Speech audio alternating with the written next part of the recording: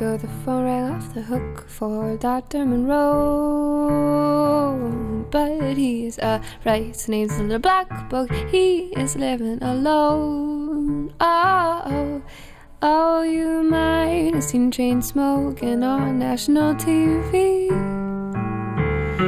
Drinking scotch on the rocks and flipping through Playboy magazines. To a chateau in the Pyrenees. Cause he's a real sharpshooter, good looker, smooth talker with the ladies. And he is running on high speed trains, seeing visions of what he used to have. Like a choir boy in the wings, oh, it's the death of a ladies' man.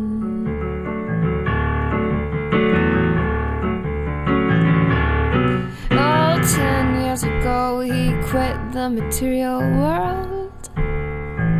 He started speaking to the sixth dimension through public urinals. And he got curious and started wearing some of Helen's clothes. Oh, he quit the firm, said a practice in the bathtub, bathtub, bathtub. And Helen said, Darling, I'm concerned. Do you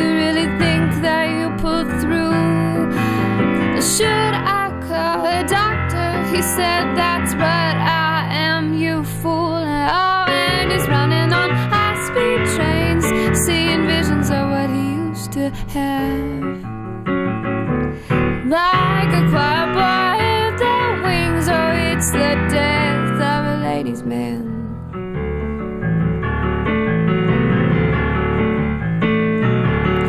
He's got his hair slicked back and his boots laced tight and shine. Killer first impression cause it smells like turpentine.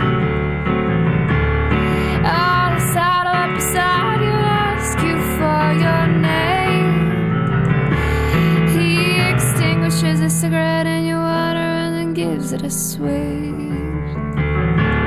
Gives it a swig gives it a swig,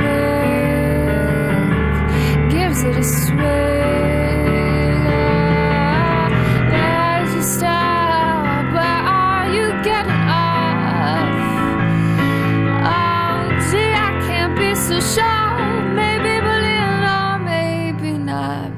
He's running on high speed trains. See visions of what he used to have like a choir boy in the wings. Oh, it's the death of a ladies' man.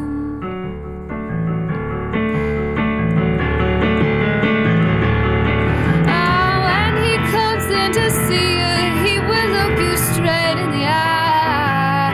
When he says, Voulez-vous coucher avec moi? Run for your life because he's running on high speed trains. See